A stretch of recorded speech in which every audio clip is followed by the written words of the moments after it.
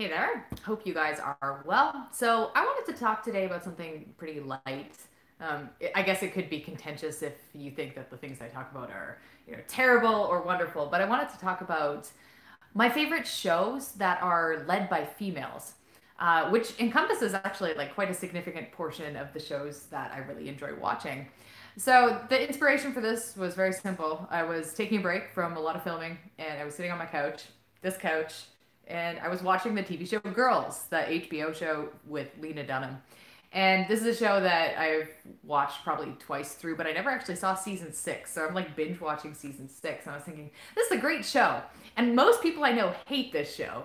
Um, but I, I think it's really quite wonderful. So I, I was thinking about it as like, are there any other like female centric shows that I really like? And uh, I came up with six. And then there's a few others that other people like that I, I don't really like. So I'm going to talk about them, share them with you.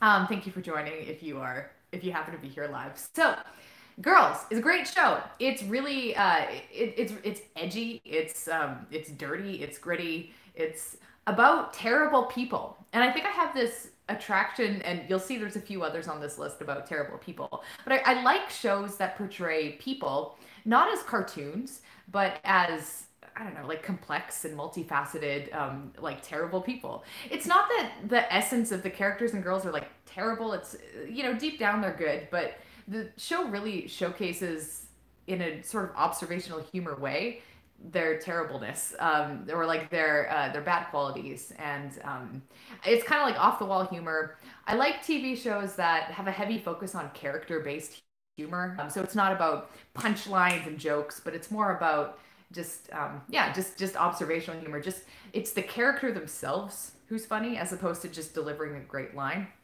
so girls top of my list and the second one i'm going to mention is in a totally different direction but it also has girls in the title and i feel like i would it would be terrible to leave this one out is gilmore girls and I resisted watching the show for a really long time when I was younger. I was like, ah, oh, cheesy show. It is a cheesy show, but it's a good cheesy show. It's fast paced.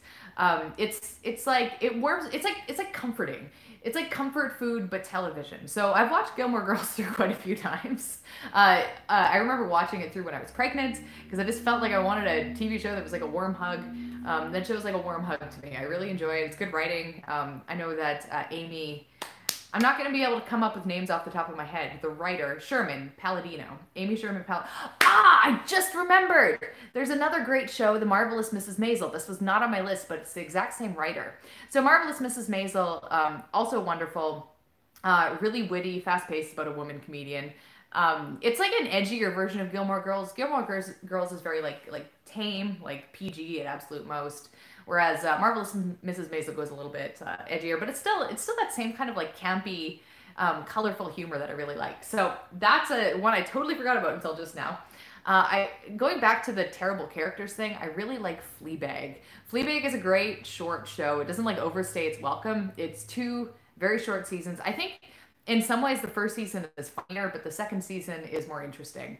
Uh, but it's to the point. I think there's like six or seven episodes per season, and the the writer of the show and the lead in it, Phoebe Waller Bridge. I hope I, am probably going to butcher these names, but she is uh, she's so witty. Again, it, it's it's kind of like raunchy humor. Um, it's a little bit uh, I, it's a little bit edgy, but um, yeah, it, it just it's a cool show. It, it's a little bit different than anything else I've ever seen. It doesn't stick to a formula, um, and it's about bad people who are trying to be good people, I suppose.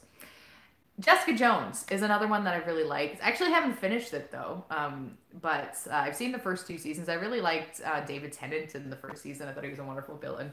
But um, yeah, another another solid show, just in the the darker, broodier, um, kind of like tortured superhero side of things. Um, and then on the other side of the spectrum, we have Grace and Frankie, uh, which is just like it's, it's like silly and cheesy and like fun. It's not like uh it's not like I'm rolling on the floor laughing when I watch that show, but I enjoy it. Um, it's a good. I, I, would call it up there with Gilmore Girls in terms of like it's comfort food for television. Um, and then uh, going back to the edgy, is Broad City. So I had a friend of mine who introduced me to Broad City. It's uh, written and starred by two.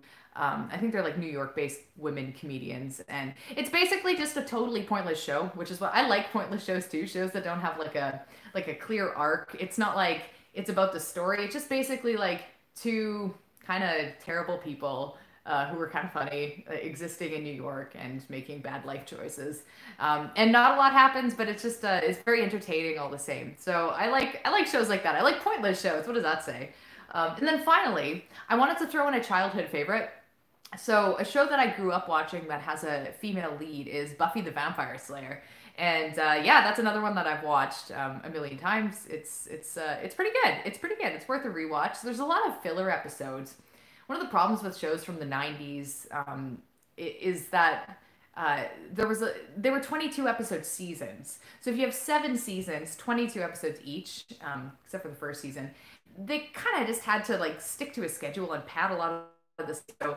Buffy's one of those shows. It's not every episode that's great. Um, some episodes are very good, and some episodes are like, okay, I could see you're just trying to like fill the space here. So, um, but yeah, still, um, still one of my favorites. Now, the ones that other people seem to like that I wanted to mention. They're kind of like honorable when mentions. So, The Handmaid's Tale, really popular on HBO. Um, and I have friends who like it. I like it. I like the show. It's a great show. It's really well shot. I really like, I don't know her actor's name, but I really like Peggy, Peggy from Mad Men, and Rory from Gilmore Girls are like um, two of my favorite actresses in the show. But it's so dark. Like, it's so it's so upsetting. Uh, I would just watch that show. Um, I just watched the first season and then I had to stop. But I would just cry. Like every time I watched it, I was just like bawling my eyes out. I'm like, I can't do this to myself. This is too takes too much of a psychological toll. So great show, but I can't really watch it. I don't know. Maybe someone could tell me if the second season is like less intense. But I think from what I've heard from other people, it just kind of keeps getting worse as it goes. Uh, all right, and then uh, Sex in the City, another really popular show I never got into. Uh, I actually never got into it because I never watched it. I haven't watched a single episode of Sex in the City. And at this point, it's been so many years. I'm like, is it even like, what's the point uh, of going back to that one? So I guess I could be talked into it. But I'm not a huge fan of sitcoms and laugh tracks and, and stuff like that. So I don't know if that'll be one that I revisit. And finally, one show that I know is uh, women centric, but I haven't gotten around to seeing is Glow.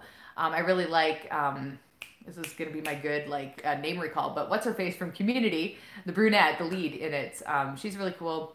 Uh, it sounds like it's a great show. I just haven't haven't watched it. So those are the the I, I like recommending shows to people. And usually when i watch something it's because someone else has recommended it to me. Um, I usually just like randomly browse Netflix or, or like HBO or whatever and just and just say like ah what looks interesting. It's sort of like a like a word of mouth thing. If I have like a few friends tell me then I'm like, okay, maybe I'll actually um, get around to watching this. So virtually everything I've ever watched is because enough people have mentioned it over and over. So um, highly recommend if you like uh, raunchy humor. Um, Fleabag is a great one because it's a low commitment because it's only the two seasons. It's really short.